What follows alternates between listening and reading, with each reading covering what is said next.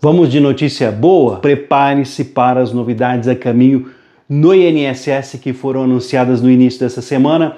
Vou explicar para quem ficou interessado, ficou interessado, então me acompanhe até o final do vídeo. Só não esqueça de ajudar as outras pessoas compartilhando os vídeos desse canal nas suas redes sociais. Já compartilha no seu Facebook, no seu Instagram, na sua lista de amigos do Telegram, na sua lista de amigos do WhatsApp. Já deixa aquele like da confiança para eu saber que você recebe os vídeos aqui do canal.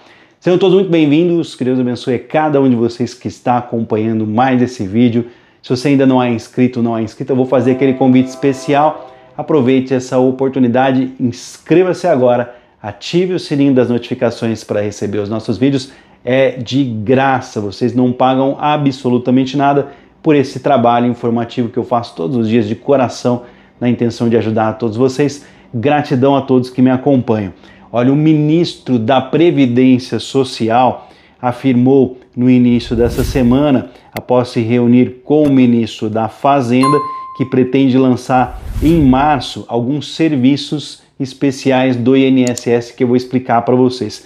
Dentre esses serviços, está um cartão especial de descontos para beneficiários do Instituto Nacional do Seguro Social, o INSS. Essa é a primeira grande notícia que eu vou trazer aqui. Ele também disse que fará um grupo para de trabalho para debater uma proposta de regulamentação para trabalhadores de aplicativos, no caso, mais uma informação. Portanto, vamos tentar explicar melhor essa questão de cartão aqui, quais os tipos de benefícios que as pessoas poderiam ter com isso. Estou falando de, além de descontos, tem uma ótima surpresa também, tá?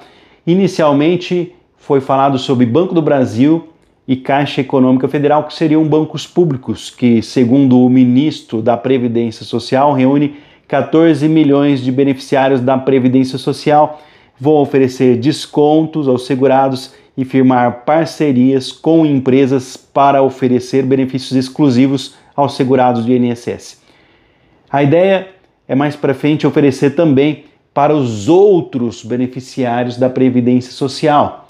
A questão é, eles querem oferecer para os 37 milhões de beneficiários do INSS para os cidadãos para que eles possam ter uma outra informação importantíssima, como eu disse, mais um benefício, o terceiro que eu vou falar aqui, transporte público de graça em todo o Brasil. Ao invés de o beneficiário do INSS precisar tirar uma autorização local para usar serviço de transporte naquele município, com um cartão que eles vão desenvolver a partir de março, ele vai valer em todo o território nacional. Também né, eles estão buscando aí novos benefícios para os aposentados, como eu disse inicialmente, quem recebe, quem tem conta no Banco do Brasil, por exemplo, ou na Caixa Econômica Federal, teria descontos nas compras em farmácias conveniadas, benefícios em passagens aéreas, hotéis e outros serviços. Então todos os serviços aí onde houver parceria, quem tiver desconto aí no caso, quem recebe benefício pela Caixa Econômica Federal, pelo Banco do Brasil, que são bancos públicos. Mas como eu disse, e os outros, né, que completam os 37 milhões de beneficiários, será que não vão ter esse desconto?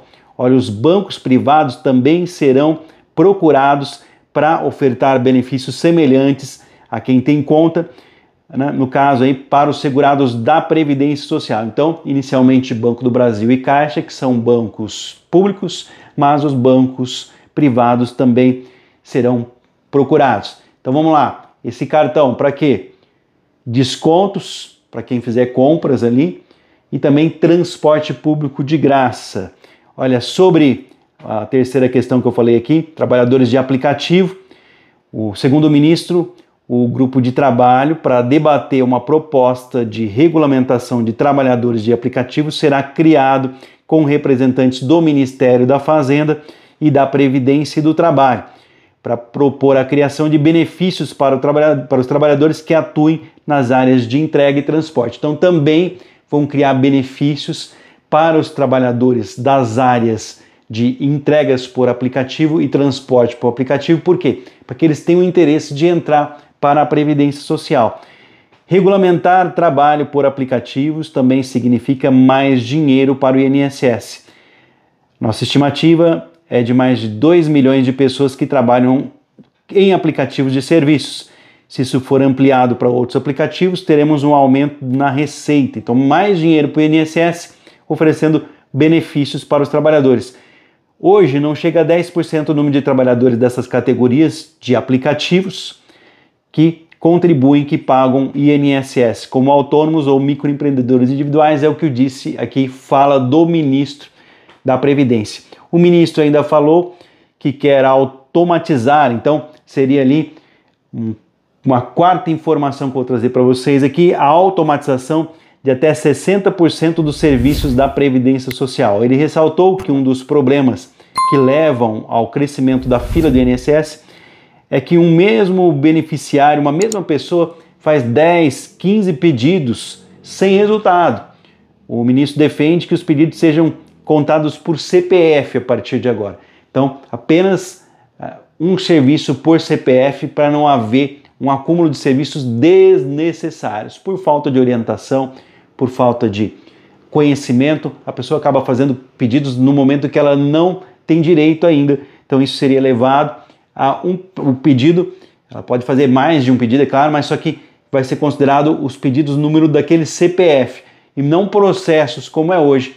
Então os números de processos ficam aquela fila gigantesca, muitos não são resolvidos, nós temos quase 6 milhões, então seria jogado ali para tudo, todos os trabalhos que teriam em cima daquela pessoa que pediu, colocado em cima do número do CPF.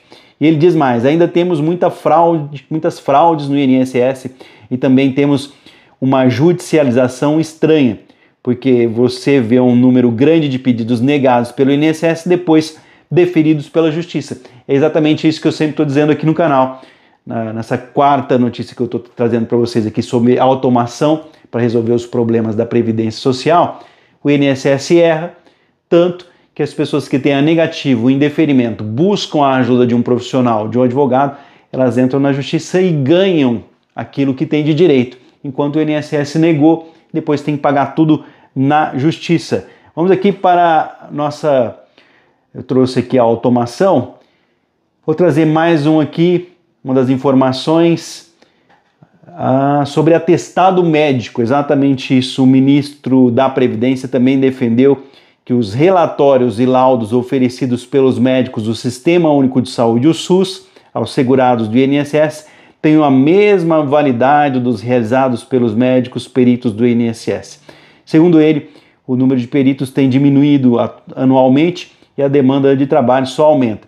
Então, aumentando o número de médicos colocando os médicos do SUS a favor da Previdência Social, fazendo com aquele relatório que você buscou no médico do Sistema Único de Saúde, falando que você não pode trabalhar, por exemplo, seja aceito pelo INSS. Vamos ver se isso vai funcionar.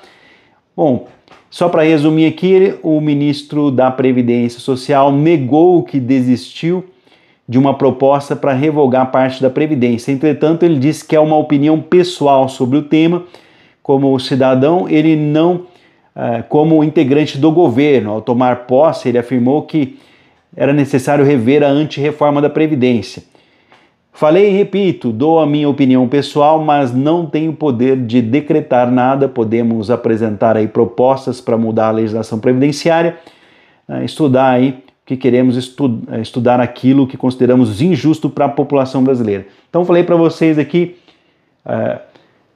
uma provável mudança que ele quer, ele insiste, né, mas há algo pessoal da parte dele em algumas partes da Previdência Social, a aceitação dos atestados médicos do Sistema Único de Saúde, a automação para facilitar a vida das pessoas que estão na fila, aplicativo, motoristas de aplicativo, transporte, né, desconto em transporte público, desconto. Então, ao todo aqui, seis informações preciosíssimas. Tinha uma sétima aqui, mas em relação a, a cartão também, né, essas afirmações. Então vamos aguardar agora a partir de março essas novidades que estão vindo por aqui.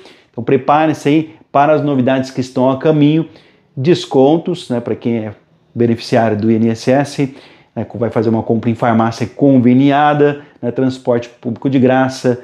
Né, nós vemos também a automação para melhorar os sistemas, como eu disse a vocês, hoje é tudo em cima de número de processos, vai ficar em cima do, do seu CPF. É uma tendência do governo colocar em cima do CPF essa automação. Em relação ao Sistema Único de Saúde, se aceita o laudo médico do médico ali do Sistema Único de Saúde para a Previdência Social, iria facilitar em muito a vida de muitas outras pessoas. Tem muitas informações, então excelentes notícias. Segurados do INSS, inicialmente com conta no Banco do Brasil e Caixa, terão cartão de descontos e passagens de graça para dentro aí das suas cidades, transporte municipal gratuito. Compartilhe essas informações, daqui a pouquinho eu volto com mais novidades para vocês. Meu muito obrigado pela sua presença, pela sua participação. Se você ainda não é inscrito, não é inscrito aqui no canal, aproveite essa oportunidade, já se inscreva, ative o sininho das notificações para receber nossos vídeos. Daqui a pouco eu volto com mais informações.